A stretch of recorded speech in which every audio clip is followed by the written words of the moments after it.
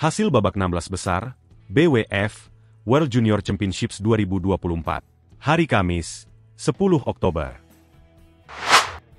Di babak 16 besar tunggal putra, pemain Indonesia, Ricci Duta Ricardo, berhasil mengalahkan unggulan ketujuh asal Polandia, Matus Golas, dengan skor 21-17 dan 21-17 dalam durasi 35 menit.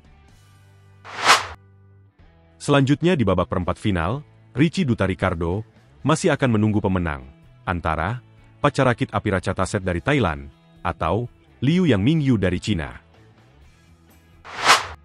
Di babak 16 besar ganda campuran, Darren Aurelius, Bernardin Anindya Wardana, berhasil mengalahkan pasangan Chinese Taipei, Xiao Huaqiu, Yan Fei Chen, dengan skor 21-17 dan 21-15 dalam durasi 26 menit.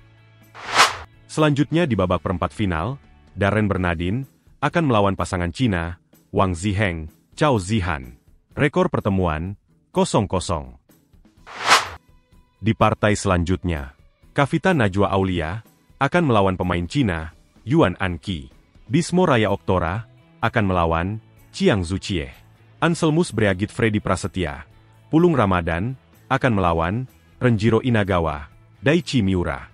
Isyana Syahira Meida, Rinjani Quinara Nastin, akan melawan ganda putri Amerika Serikat, Chloe Ho, Veronica Yang, dan Dester Farrell, Wahyu Agung Prasetyo, akan melawan ganda putra Inggris, Benjamin Horseman, Jia Bin Lee.